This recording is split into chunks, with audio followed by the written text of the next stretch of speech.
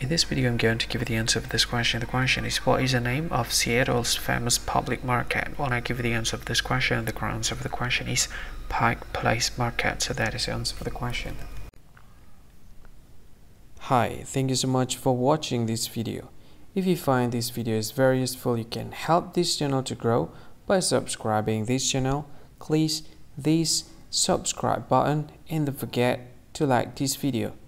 And if you find this video is not really good or you don't really like this video or you kind of feel that it's a little bit offensive or something like that, you can click this one, dislike button. You can do that anyway. And if you want to share this video with your friend, you can share it by clicking this share button and you can share it to any any social media that you wish that is currently available at this time like Facebook, Twitter, LinkedIn, and many others. Right?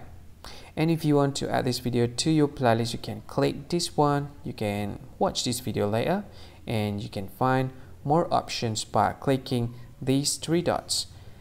And yeah, don't forget to subscribe. I think that's all of it. Thank you so much for watching this video and see you again in another video. Bye bye. See you again.